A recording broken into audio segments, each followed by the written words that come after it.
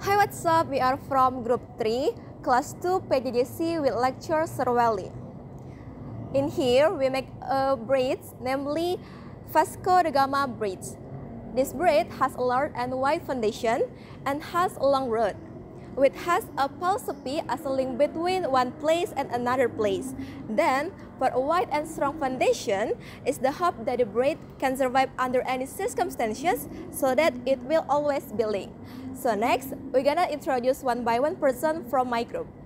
Hello guys, my name is Fahri Radhi Ramadan. Halo guys, my name is Amar Mariza Siswani. Hi guys, my name is Ulpa Wulandari Puspita.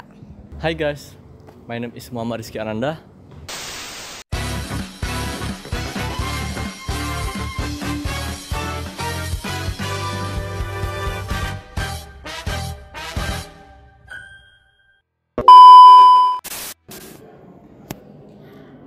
The first step, cut the wooden sticks that have been prepared with a size of 10 centimeters.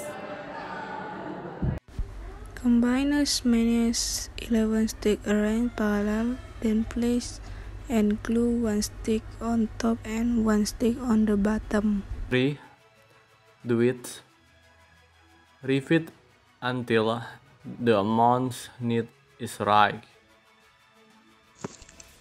Next, make one more pillar or foundation like this.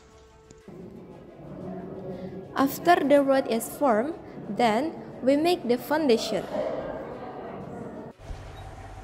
Take two sticks and attach them to each end of the stick using glue. 7. Do it.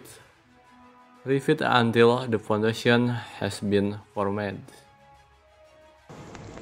Cut a wooden stick with a size of 4 centimeters.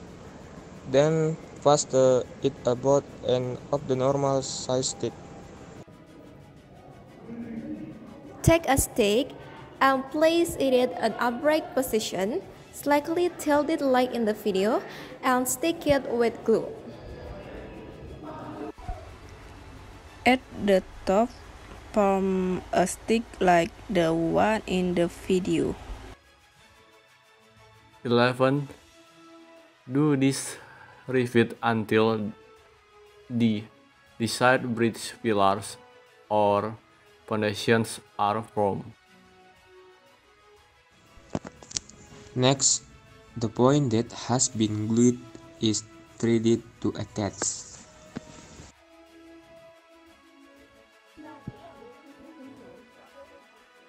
The rod that was made earlier, then put it in the foundation like in the video.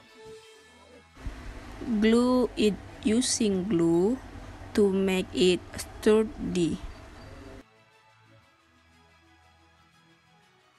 15.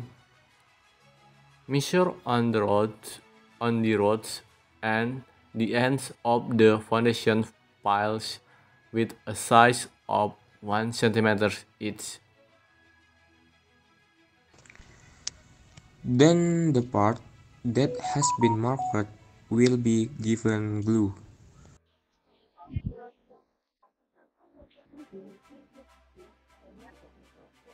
When all is done, glue on the threads to make it stronger, and the threads don't come off.